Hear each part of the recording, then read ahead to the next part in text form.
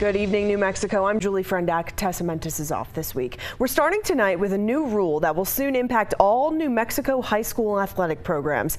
It's been dubbed the two strikes policy, and the organization that oversees all high school athletics just voted in favor of it.